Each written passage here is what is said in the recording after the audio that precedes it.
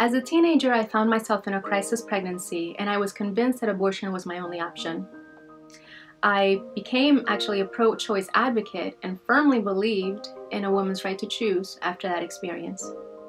But then I met the Lord and He changed my heart.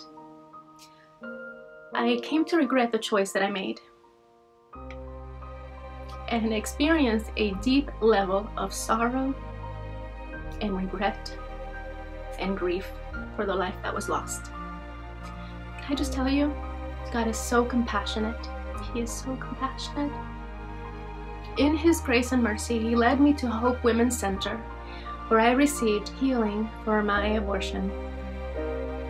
I serve there now once a week, and I help ladies make an informed decision regarding unplanned pregnancy so that they don't think that abortion is their only option.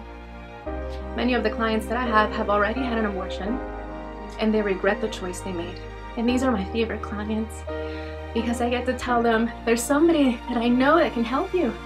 His name is Jesus.